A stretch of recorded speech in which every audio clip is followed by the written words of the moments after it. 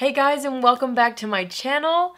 So if you can't tell already, my voice is like gone. I've actually been sick this entire week and I thought for sure I was gonna be better by today. Today is Saturday actually when I'm filming this, which is my upload day, and I'm not yet, and I'm so frustrated because I had like another video planned in mind, but I've just been like coughing all week, and so while I was thinking about something that I could do where I wouldn't have to talk too much in the video, I thought, hey, you know what, I'm gonna do a lip swatch video today, so that's what we're gonna be doing. I'm not sure if you guys saw, but earlier this week I actually posted about the Physicians Formula Butter eyeshadow palettes. I did partner up with Physicians Formula to announce those on my Instagram, so that that was a partnership. This video is not sponsored though. They just sent this to me in PR and I'm so excited about them. I'm gonna be swatching the new Physicians Formula. I don't even know how to say this. Miru, miru, miru, miru, miru, miru. Miru, miru? The butter lipsticks. There are 12 shades. I have them all right here in front of me. You guys know how much I love Physicians Formula. Like I love Physicians Formula. The thing that I really love about them is I feel like every time they release something, it's always super, super good. I especially love their butter bronzers, obviously. And you guys probably know their healthy liquid lipsticks are like one of my favorite liquid lipstick formulas of all time. So I was so excited to see these come in the mail and I'm gonna do a swatch video for you. I've kind of played around with them a couple times. They're extremely pigmented, but I wanted to show you guys like another option option or another way to wear them. They're kind of like a tinted lip balm, but they're very, very pigmented. I'll just kind of show you. I noticed that I was either able to wear them, this is just an example before we get into the swatches, but I either like tap them on the lips like this, and that gives me a nice like light coverage, and it just feels like I applied a lip balm, or you can go over it a few times,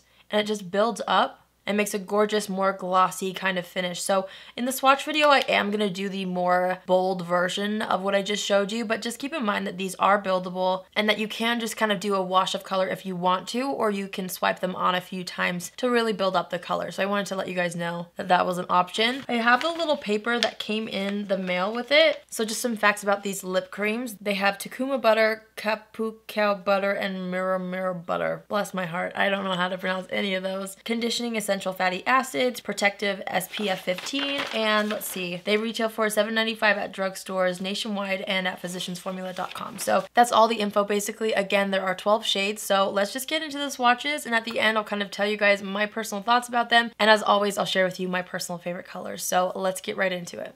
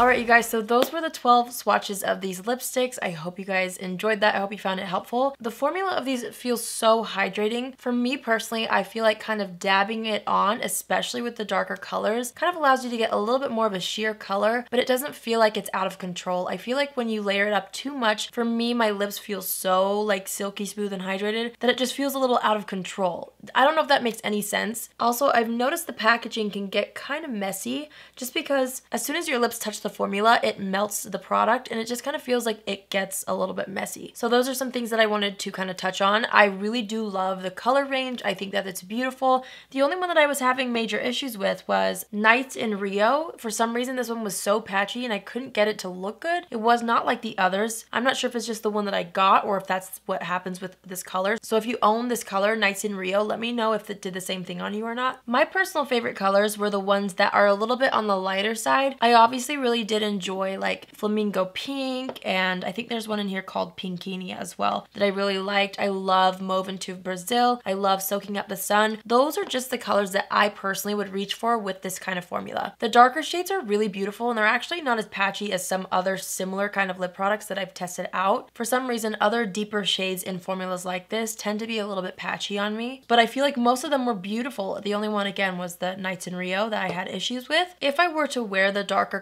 colors, I would definitely just do more of a sheer wash or if I wanted to build it up, I would probably use a lip liner. In fact, maybe I should try that. Let's try a lip liner with the one that I have on right now. Oh, also, you guys will notice, look, it stains my lips. I'm not sure which one did that or if it's just the combo of all of them since I tried them all on, but this happened to me the other night as well because I tried on a few and it actually like stained my lips for a day or so. So just keep in mind that that does happen with some of the darker colors. Sometimes that might be nice in some ways if you are expecting it, but if it stains my lips were too long, sometimes I get a little annoyed. Uh, this did last on me for like a day, so I'm planning on having pink lips for a solid day. All right, I'm gonna go ahead and line my lips with Valisia. I think this is the shade. This is from Thrive Causemetics, and I think it'll be a good match. So I'm to see what it does when I line and fill in the lips because I always fill in the lips with my lip liner. Also, speaking of Thrive Causemetics, thank you guys so much for the amazing response that I got on the video that I filmed with the CEO, Karissa. I'm so glad you guys were as inspired as I have been by her. It was kind of something new for me to film something like that, but I just really wanted you guys to get to know her the way that I have this year. So I was so happy when she said yes to filming with me. It was just such a great experience and my husband and I flew ourselves out there just for that video. So to get such a good response from it was really great. I'm so grateful, you guys. Karissa was also so impressed at how kind you all were, and I never expect anything less from you guys. You guys are seriously the sweetest, so thanks again. I really am so glad that you enjoyed that video as much as I was hoping you would because I personally really enjoyed filming it. So if you haven't seen it, I'll link it down below. So that's more of a hot pink lip liner. Was not uh, planning on that, but I'm gonna go back in with acai berry, and I'm just gonna kind of press on top until it kind of feels like a lip balm because I don't want to go overboard with uh, product on my lips because again I just feel like I can't control it once I kind of swipe on too many layers. I'm just gonna go ahead and pat it in with my finger. All right, so that's what it looks like with a darker color over top of a lip liner. I do really love how this looks. Again, just being real with you guys, I feel like I would definitely reach for the more neutral colors just because it can kind of get messy fast. And I feel like this would just be all over my face by the end of the day. So I would probably just use the darker shades as like a purposeful lip stain where I just dab it on and really buff it into my lips as more of a lip stain than like a full on pigmented kind of product, if that makes sense. Well, I'm really liking how this looks though. I'm gonna add a little more blush because I feel like I need some now that I've applied this color. I'm just taking this one. This is an hourglass one that's just sitting on my desk. I just want to be a little more rosy, you know? Well, there you have it, you guys. I hope you enjoyed this lip swatch video. Again, I'm so sorry about my voice. Hopefully it goes away soon. I usually put a star next to my favorite shades, so be sure to check the description box if you want to know what I personally would recommend. But I am really happy that Physicians Formula launched something like this since they only have like liquid lipsticks that I'm familiar with that I truly love and really wear. So I'm super excited to keep wearing these, especially the nude colors. It's always so fun for me to try out new things from the drugstore. Let me know if you've tried these out and what you think about them. I love you all so much and I will see you in my next video. Love you. Bye.